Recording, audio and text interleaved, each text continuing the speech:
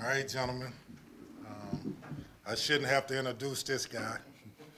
This is Louisville basketball right here to my right. Fortunate enough to be able to be in a position uh, with taking this job of surrounding myself with not just people that I have had relationships with, but that are the best of the best.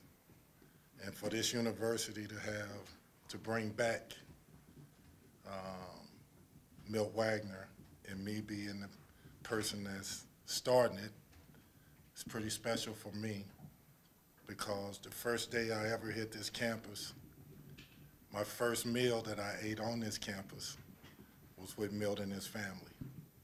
And for all of us that were freshmen in that class, this is the person that we looked up to. Um, so I'm excited, I'm happy uh, that I get to bring him back.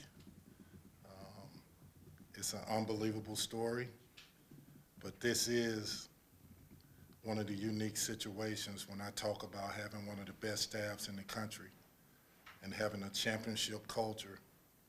You're looking at somebody that won it as a college player, but also won it as an NBA player. That's two more championships. Where? Where are other staffs that's done that? this is really unique. So I'm excited, happy. Questions?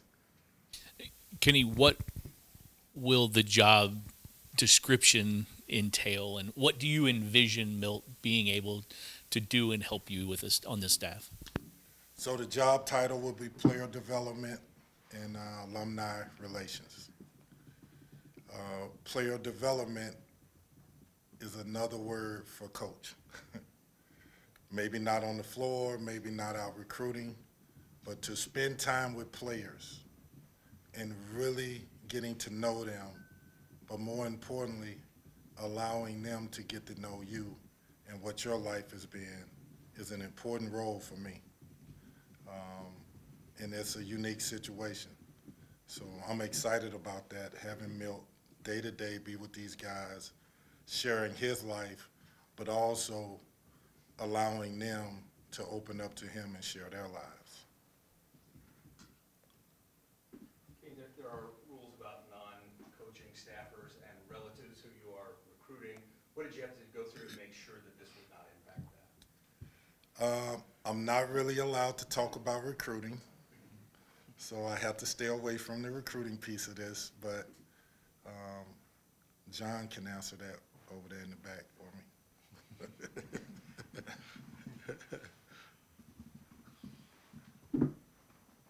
Kenny, as you mentioned, first meal you had was with Milt and his family. What's your how's the relationship between you two grown from that moment through the years? Um, he's a brother, in a true sense of the word. He's my brother. Um, even when I was playing in Philadelphia, um, his brother, Day Day, used to come by and see me. Uh, I used to spend a lot of time in New Jersey when I was living in Philly. So Milt's been in my life on a regular basis ever since I've been a player here, and even as an NBA player. So, true family member. Do you remember when that first meal was? Yes, in his apartment. yes. Come on, Eaves. I know you got a question. He's shaking his head, Egg. Congratulations, Will. That's all I have to say. Thank you, Jerry. Great job, Kenny. Bringing back one of our own. yes. Thank you. Can you talk about the impact of all of this? Not, this is part of a bigger know, piece of the puzzle in terms of how you see the community and the impact of all of this. You know, again, this is unique.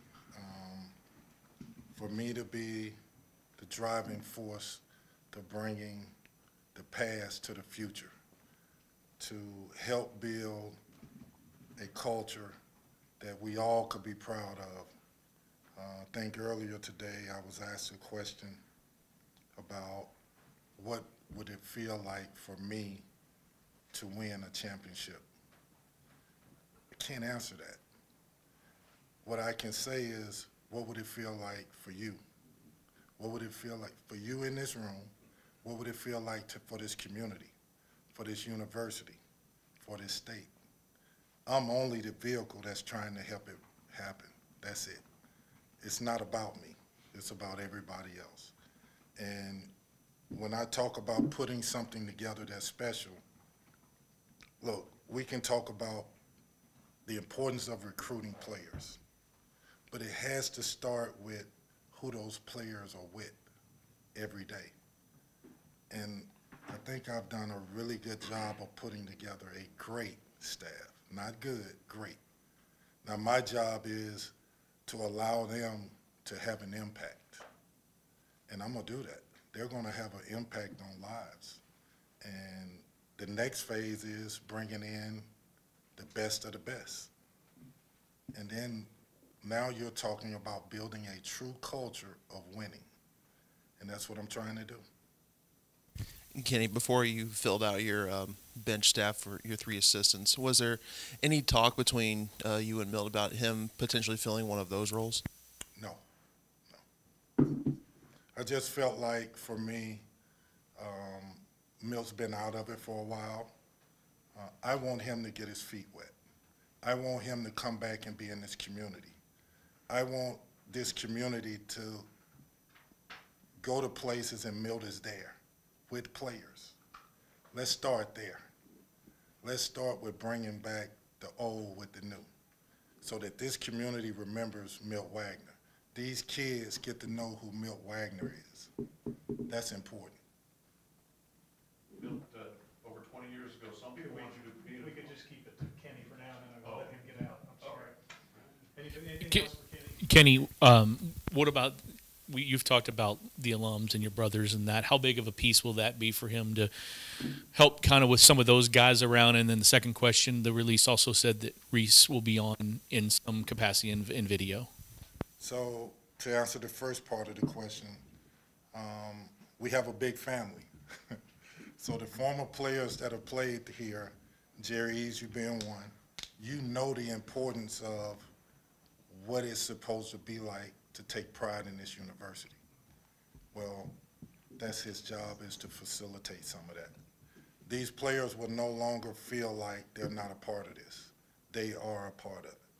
This community will know that these players that have poured their heart, soul into this university, they're going to be seen and heard now. That's a part of what my job is. Uh, I could easily not be in this role and be one of them. So how would I want it to look for them? That's how I'm making these decisions. What better ambassador for the University of Louisville than to have this man right here? I don't know if you guys remember the glove, the free throws, the, the part down the middle of the hair.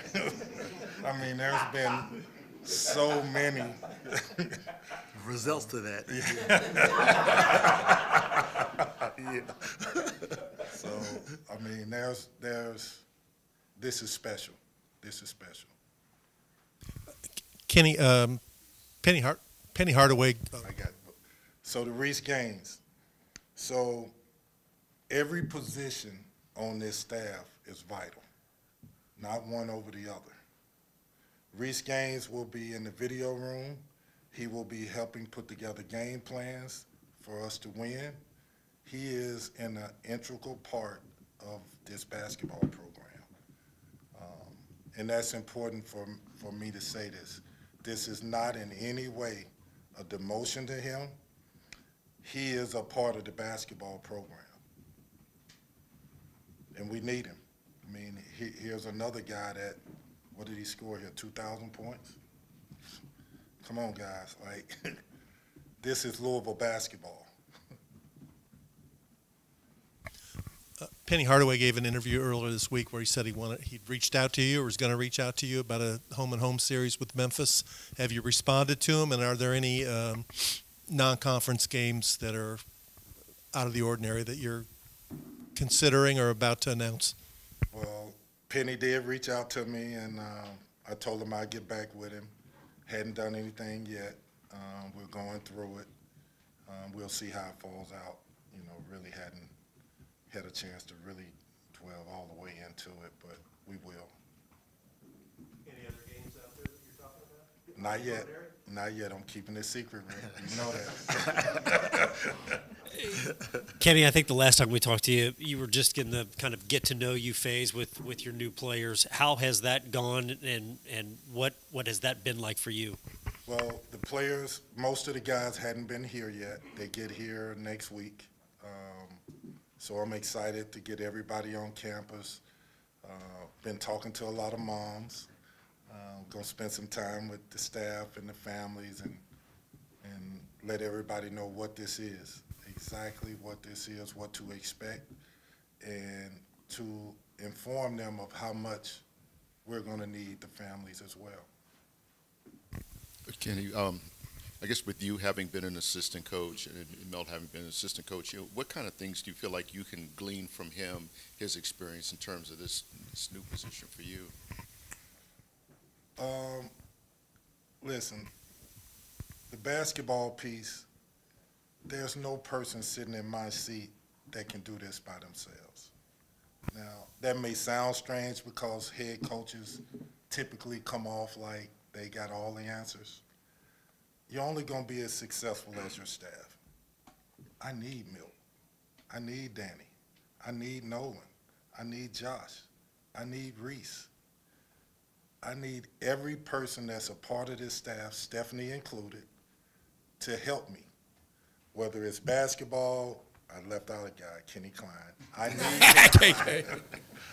so, basically, what I'm saying to you is that there's this terminology that they use about programs like this. You have to be the CEO of a company.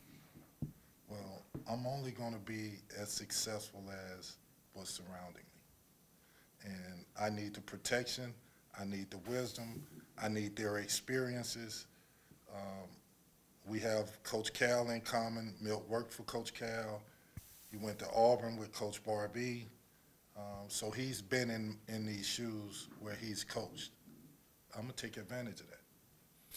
Kenny, Last one. mm, 80 days or so into the job, is this what you expected? Great question.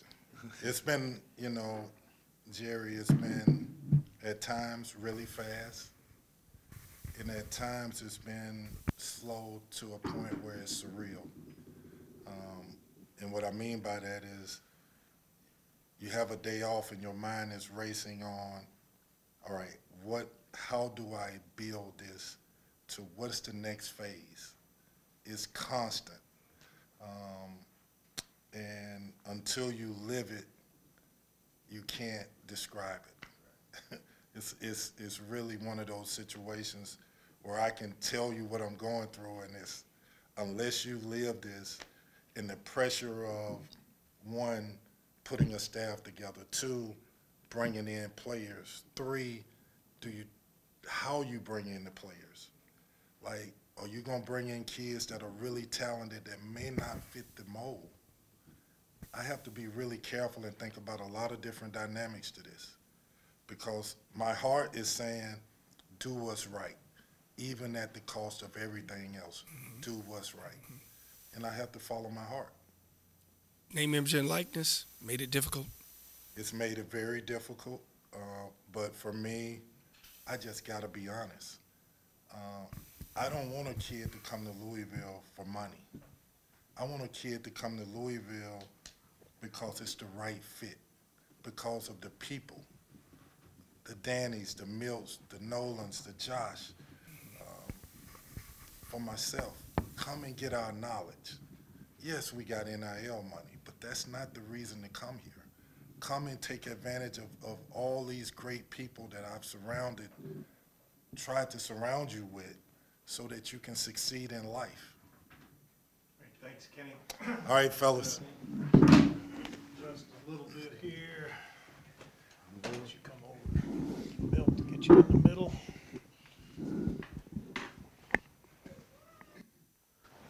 All right, at that, I'll let you lead off. Uh, Milt, over twenty years ago, some people wanted to be an assistant coach here. Uh, now you finally are. What's the feeling being back at your alma mater? What was the feeling then when you didn't get a job? Well, I, I truly believe timing is everything.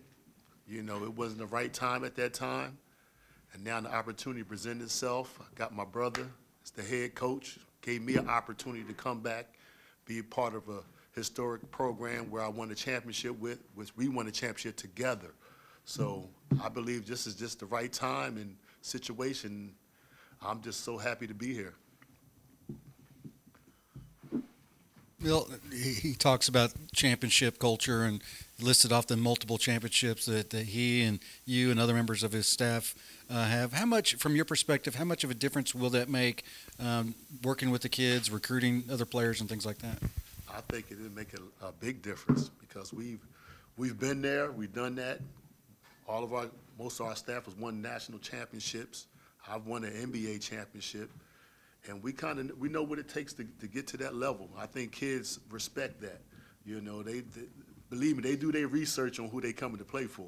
So they look at our backgrounds and they see all the experiences we had and all the things we've done. So I think it plays a big part in, in getting kids here.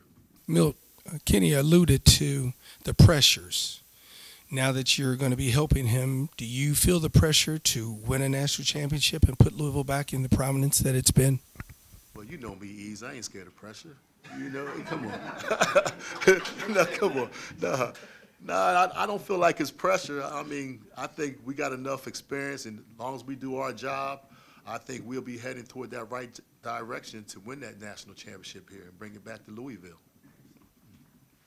You talk about the importance of of timing and working out now for you. A few years ago, this job was open and Kenny didn't get it, and I wonder what you were going through at, at that time in terms of, were you hoping he would get it, were you disappointed? And then kind of what happened once he got the job in terms of your justification?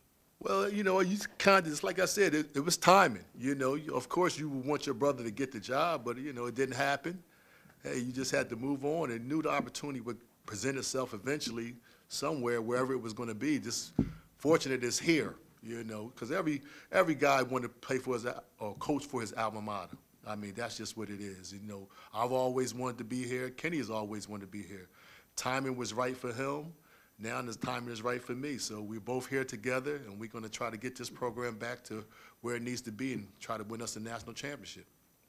Yeah, Milt, there, there's a lot of guys that played here that weren't from here, and then after they were done, they went back to where they were grew up or whatever. But six years ago, you came back here. Um, why did you come back to Louisville, and wh- what's been the pull for you? Well, as a player, I saw how former players came back every year. A lot of guys come back and live here. And I just felt like I knew I was coming back here when all my playing career was over or coaching career was over. I knew I was going to come back here to live. I knew that leaving college in 86. So that was a no-brainer. And you see so much of our former players that still live here right now. So every time I come back every summer, I see all some of my guys, some of the guys I didn't play for, but former players that live here in Louisville. So I felt like it was a brotherhood that I just want to come back to and be a part of. Will you be teaching free throw shooting? Oh, absolutely. But how, how would you describe, you know, what your role is going to be with the players? Well, basically, I'm like a liaison to, uh, between KP and and the players. You know, I'll kind of just tell them what KP likes and what he's looking for, and just experiences. You know, because I know everything KP is thinking, pretty much, and and them guys are come to me. Things KP might not know that I can get out of the guys. You know, I'll let him know that. So I'm just kind of like the middleman, just to help them communicate between coach and player and just tell them some of my experiences. What's the hardest part about what you're doing? Kids- Have kids changed where it's, it's tougher to get your message to them where they understand? Yes, you know, you have different kids these days. You know, it could be a little difficult, but just like I said, you know, kids, they do their homework. You know, they look at your background, and a lot of kids, they'll respect what you have achieved, and they, and a lot of them will listen a lot more when they know that you've been there, done that, and you can help them get to where they're trying to get to. So I don't think it'd be a problem. A lot has been said over the course of time about former players and the disconnect maybe with previous staffs. How do you help create or, or, create a where there's not a divide between former players now and bringing them back? Well, just like Coach Payne has said, we want to let players know this is their team. Our former players, this is their team also. You know, We want them to feel connected to this team and let them know they're family. We all family. We want our, our current players to know that they have family outside of us here at the staff, that they got former players that have been there, you know, and that's, we all brothers. We're all a family, and we want to make this a family situation here. So I think that's my job, just to bring our former players back. And I know they've been wanting to come back for the longest, so I don't think that'd be a problem. So, you know, uh, we got open hands to these guys, that, you know, this is their program. Milt, do you Milt, do you envision this being a, a long term thing for you, this position?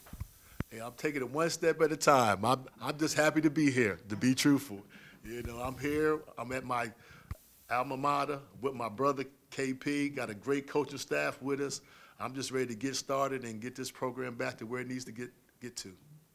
You're on the, now watching a third generation of Wagner basketball standouts play. What has it been like to watch your son and now your grandson and other people in the family just uh, take up this sport and excel at it?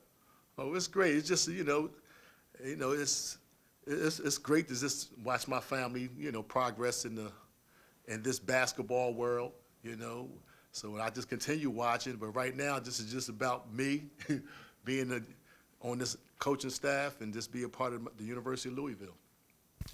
Milt, when you were at Memphis, uh, Dajuan was there. We all know that your grandson is one of the top players in the country. Are, do you have to stay out of that uh, in, in terms of what happens going forward in recruiting of him? Well, I'm not, I'm not getting into that right now. Like I said, this is just about me getting on the staff this year. This is about Milt Wagner being player development slash alumni relations.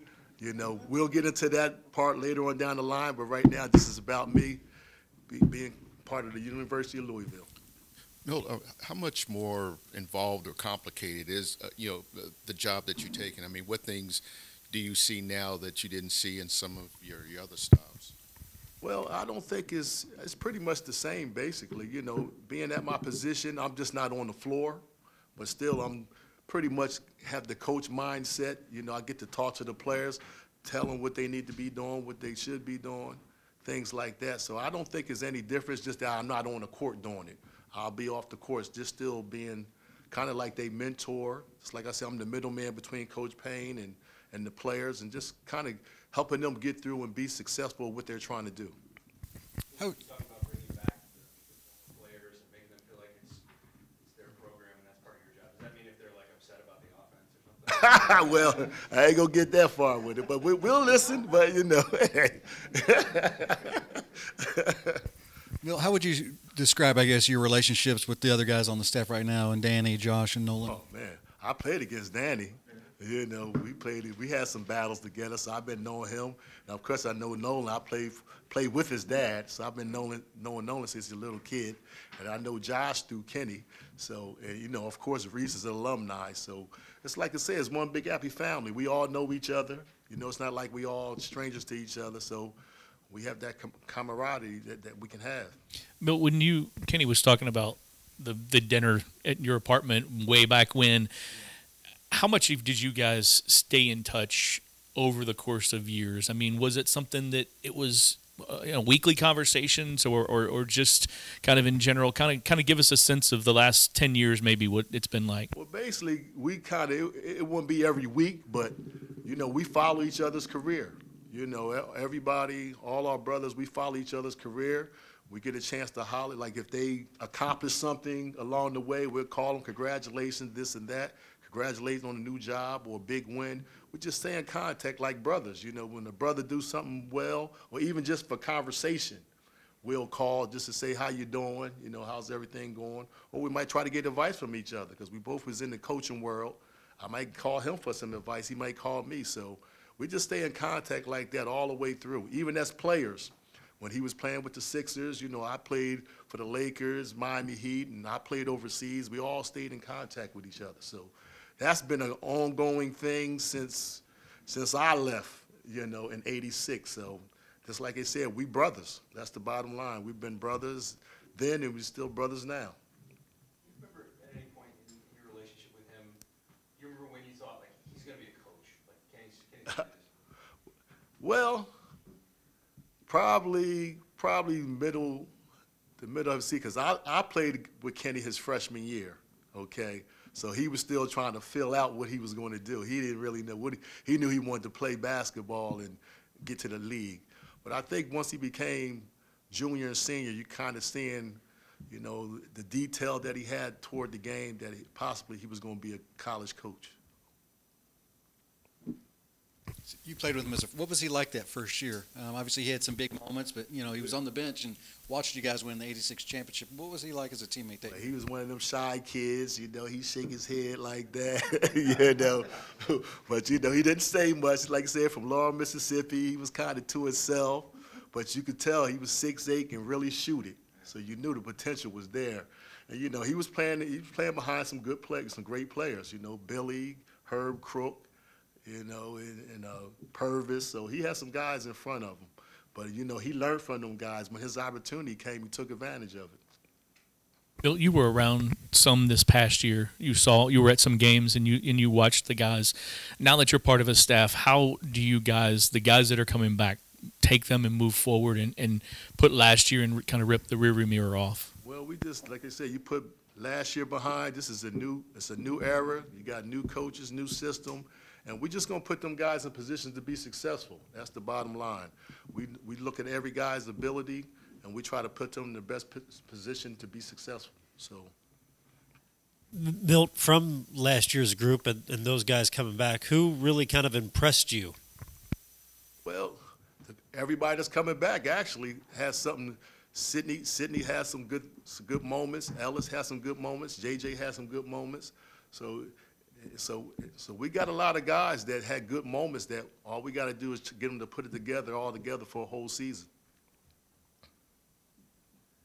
Anything else,